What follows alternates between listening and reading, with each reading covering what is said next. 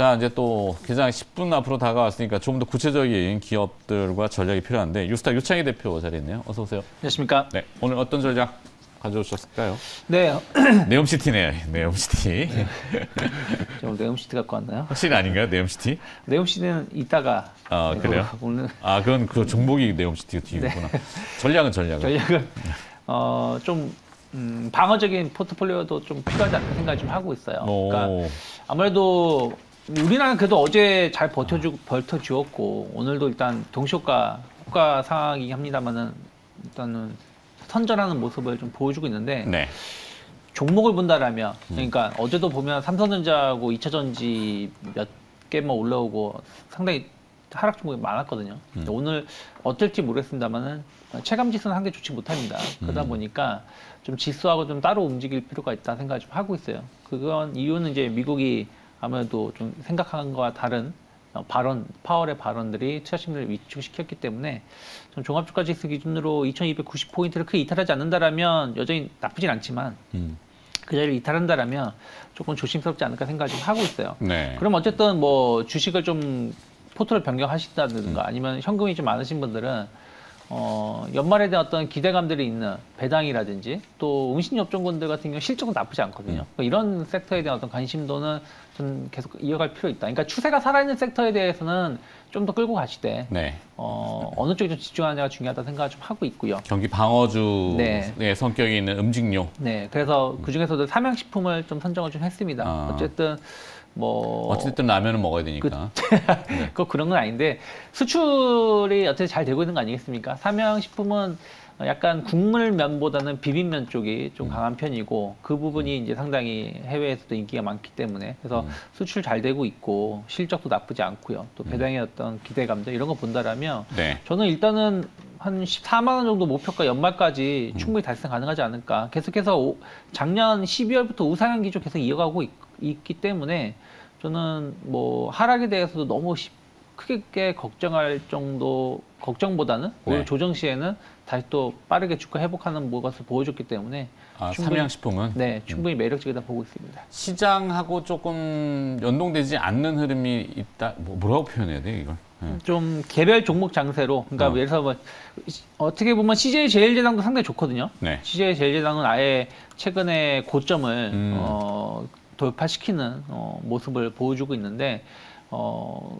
그, 이런 종목을 매수하는 것도 좋고요. 하지만 어쨌든 뭐 이슈들이 있고 그 이슈가 끊이지 않는 종목군들 종목 중에 하나가 삼양식품이기 때문에 음. 저는 충분히 매력적이다. 수급적인 측면에서도 외국인들 어, 꾸준하게 어, 매수가 유입되고 있는 것도 있고 네. 그래서 그런 측면에서 본다라면 어, 실적, 배당, 뭐 경기 방어, 음. 또 수익률 이런 것도 나쁘지 않다 생각하고 있습니다. 그러니까 시장 전체에 대해서는 고민이 있지만 뭐 아, 뭐 아무도 모르는 거죠. 그쵸. 그렇죠. 방향에 대해서 모르니 그냥 조금 보수적이라는 표현은 뭐 시장을 꺾는다 이건 의미는 네, 아니고 그런 건 아닙니다. 경기 방어주에 그냥 좀 스트레스 많이 받는데 화끈한 불닭볶음면이라도 먹자 그래서. 네, 네. 삼양식품으로 이, 이거 어깨 브랜드 맞나요? 맞습니다. 맞죠? 맞습니다. 어, 잘못 얘기할까 봐. 또. 가끔 제가 이제 한 글자씩 틀리고 뭐 이래서 어, 알겠습니다. 삼양식품 들어갔고 그다음에 네. 정기민 차장은 오늘 전략을 어떻게? 네, 뭐저뭐또 네옴시티 테마 연동이 있는 네. 네. 죽으나 사나 네옴시티 가자 이거죠. 뭐될 때 되는 거를 될 때까지 하자. 뭐 이건 주의고요. 맞아요. 진짜 네. 수익률은 뭐 뭐 그렇죠. 뭐, 뭐 진짜 니은자만 들어가도 음. 막 급등을 하는 이제 그런 상 뭐 지속적으로 이제 약세장이다 보니까 네. 이 여기서 뭔가 좀 이슈를 찾으려고 하는 그런 수급 은 역시 음. 이제 2차 전지, 네옴시티 여기가 좀 절대적인 아, 그런 상황이어서 뭐 될 때 되는 거를 할 수밖에 없는 이제 그런 상황이다라는 거. 그리고 음. 네.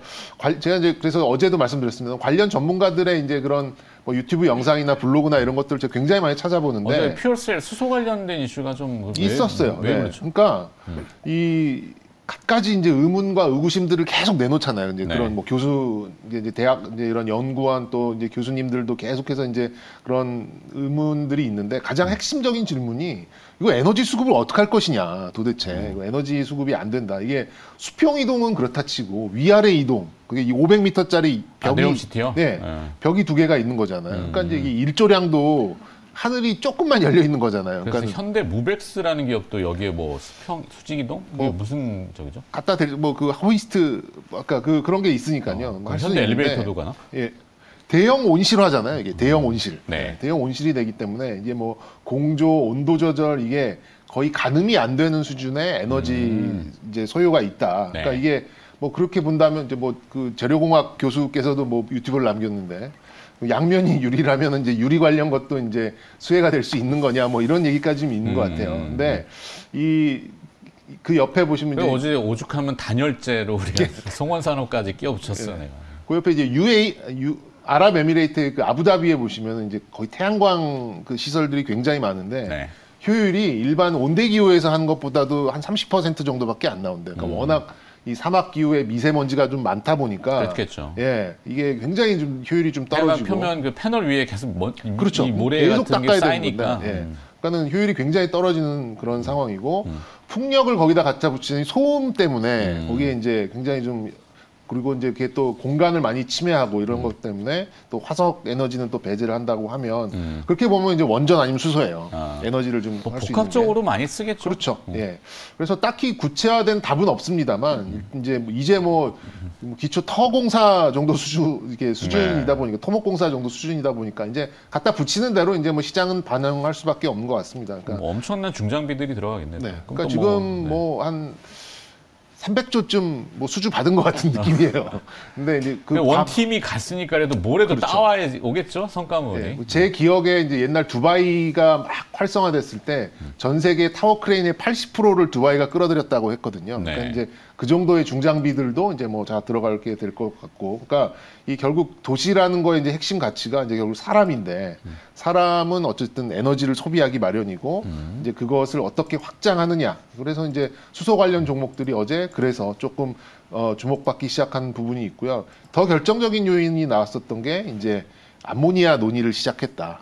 뭐 어떤 거요? 암모니아. 암모니아. 예, 그 암모니아가 그러니까 수소를 이렇게 액화시켜서 하기가 힘들잖아요. 그래서 이제 암모니아에서 이제 수소를 NH3니까 수소가 많이 포함이 돼 있으니까 이제 거기서 논의가 됐다는 이유만으로 네옴시티는 수소로 갈 거야라는 어, 시장의 시각이 어제 일부 종목들로 반영이 좀 된 것 같습니다. 음. 그래서 그 테마는 좀 더 이어갈 수 있겠다라고 좀 생각이 들어서 이제 이제야 수소라는 테마를 꺼내 먹겠구나라는 음. 생각이 좀 들었고요.